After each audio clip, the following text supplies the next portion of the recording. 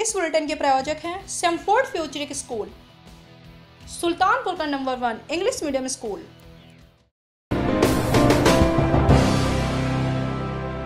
UP में सबसे बड़े माया जाल का मोदी और योगी के नाम पर हज़ारों करोड़ की जालसाजी।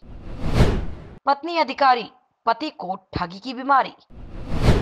उत्तर प्रदेश में जालसाजी के सबसे बड़े माया जाल का सनसनीखेज खुलासा हुआ है। प्रधानमंत्री मोदी और मुख्यमंत्री योगी के नाम पर हज़ारों करोड़ डकारे गए हैं। जी हाँ सही सुन रहे हैं। मोदी और योगी के नाम पर घोटाला हुआ है। विश्वास नहीं है।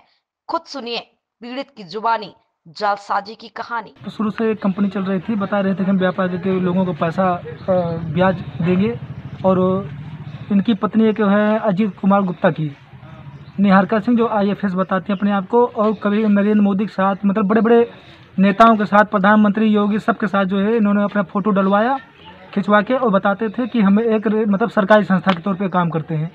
और लगभग यहाँ से पूरे क्षेत्र से लगभग जो है कि हज़ारों करोड़ रुपए लेकर गायब हैं जो कि इसमें हमारा भी लगभग दस लाख रुपए जमा है। धीरे धीरे करके जो है फिर इन्होंने I vision India credit cooperative society में जो है लोगों का निवेश कराना शुरू किया।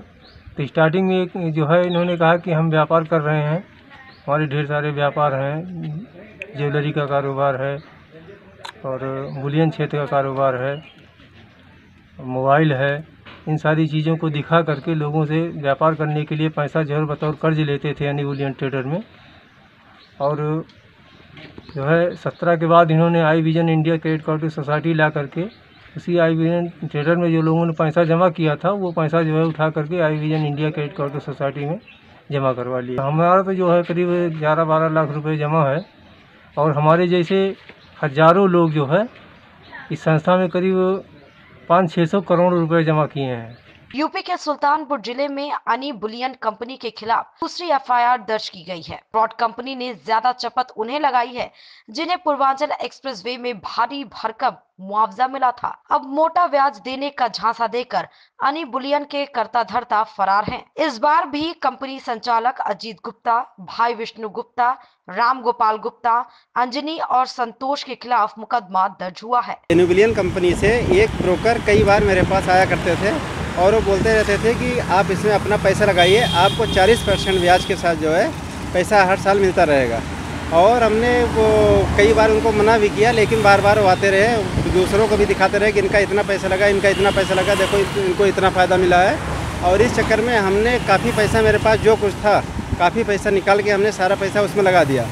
कुछ दिन बाद वो पता चला कि ये कंपनी भाग गई। उन्होंने हमें एक फर्जी बॉन्ड भी दिया था। अब उस बॉन्ड का भी कोई मतलब नहीं रहा। वहाँ जाता हूँ तो एड्रेस पर कोई मिलता नहीं। ताला लगा हुआ मिलता है। कोई पता चलता है कि यहाँ कोई कंपनी थी नहीं। अनिबुलियन कंपनी वाले आए, हमको समझाए और समझाने के बाद वो बताए कि 40 परसेंट का हमको लालच दिए। इसके बाद हमने उनको दो लाख रुपए लगा दिए। अब उनका नंबर बंद बता रहा है।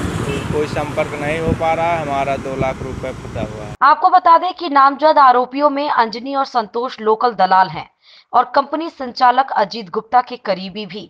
इससे पहले सुल्तानपुर की नगर कोतवाली में अन्य कंपनी के मालिक अजीत गुप्ता और उनकी पत्नी निहारिका सिंह आदि के खिलाफ मुकदमा दर्ज हुआ था। बताते हैं, निहारिका सिंह क्लास वन अधिकारी हैं। वर्तमान समय में इटली की राजधानी रोम में तैनात हैं। अजीत गुप्ता ने अपनी पत्नी निहारिका की, मोदी योगी अमित शाह के साथ फ़ोटो दिखाकर माया जाल फैला रखा था। इसके खिलाफ लखनऊ, अयोध्या में भी करोड़ों की जालसाजी का मुकदमा दर्ज है। लेकिन पुलिस सुस्त पड़ी है, क्योंकि मामला मेम साहब के ठग पति और उसके साथियों का है। देखना ये होगा कि आखिर पुलिस यूपी के महाठग अजीत गुप्ता गैंग पर कार्रवाई कब करती है? Bureau report, NDTV Bharat. देश दुनिया की ताज़ा तरीन खबरों से रूबरू होने के लिए सब्सक्राइब कीजिए आपका अपना चैनल एन भारत।